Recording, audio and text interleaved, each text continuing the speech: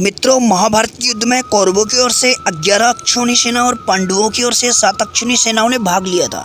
यानी इस युद्ध में सभी महारथियों और सेनाओं को मिलाकर करीब पचास लाख से अधिक लोगों ने भाग लिया था।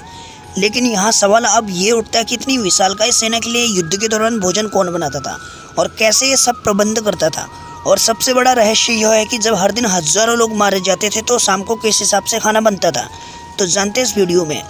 महाभारत को हम सही मायने में विश्व का प्रथम विश्व युद्ध कह सकते हैं, क्योंकि उसमें शायद ही ऐसा कोई राज्य था जिसने इस युद्ध में भाग न लिया हो। उस काल में आर्यवर्त के समस्त राजा कौरव और पांडवों के पक्ष में खड़े दिखे।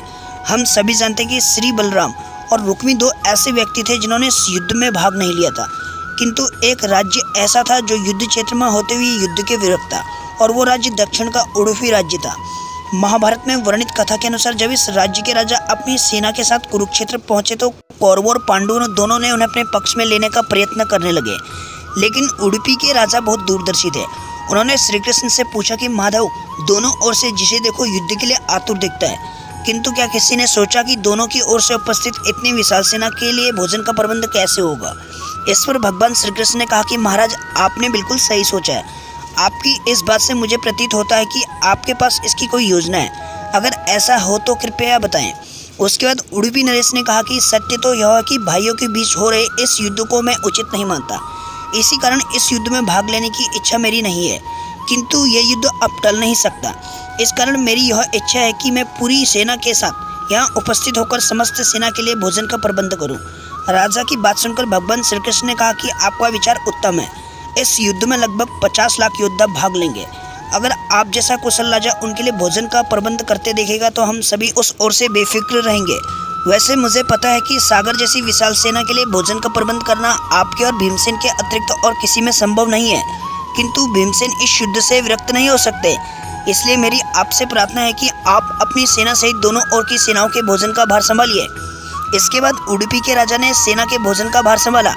पहले दिन उन्होंने उपस्थित सभी योद्धाओं के लिए भोजन का प्रबंध किया। उनकी कुशलता ऐसी थी कि दिन के अंत तक एक भी दाना अन्न का बर्बाद नहीं होता था। जैसे जैसे दिन निकलते गया, योद्धाओं की संख्या कम होती गई। दोनों ओर के योद्धा ये देखकर हैरान हो जाते थे।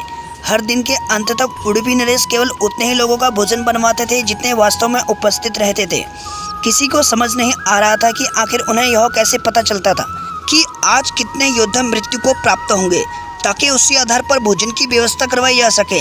इतनी विशाल सेना के लिए भोजन का प्रबंध करना अपने आप में एक आश्चर्य था। उससे बड़ा आश्चर्य यह था कि इतनी बड़ी सेना के लिए भोजन की व्यवस्था के अलावा अन्न का एक भी दाना बर्बाद न हो, किसी चमत्कार से कम नहीं था।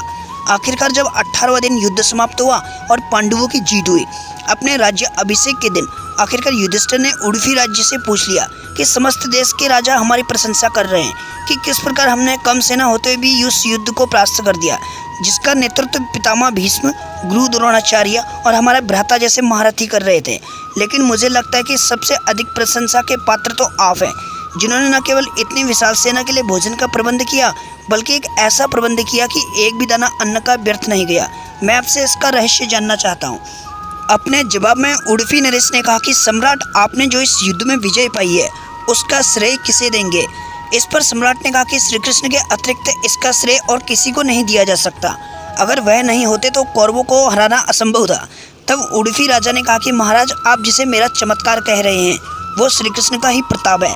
ऐसा सुनकर वहाँ उपस्थित सभी लोग हैरान हो गए। तब उड़फी राजा ने इस रहस्य से पर्दा उठाया और बताया कि श्री कृष्ण प्रति रात्रि को मूंगफली खाते थे। मैं प्रतिदिन उनके सिर में गिनकर मूंगफली रखता था और उनके खाने के बाद गिनकर देखता था कि उन्होंने कितनी मूंगफली खाई। वे जितनी मूंगफली खाते थे, उससे ठीक हज़ार गुना सैनिक अगले युद्ध में मारे जाते थे। यदि वे पचास मूंगफली खाते थे तो मैं समझ जाता था कि अगले दिन पचास हज़ार युद्ध में मारे जाएँगे।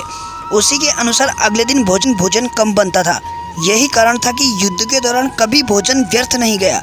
भगवान श्री कृष्ण के चमत्कार को सुनकर उनके आगे सभी नतमस्तक हो गए। अगर आपको ये वीडियो अच्छी लगी हो तो लाइक करना, चैनल को सब्सक्राइब करना, कमेंट सेक्शन में जय श्री कृष्ण लिख देना।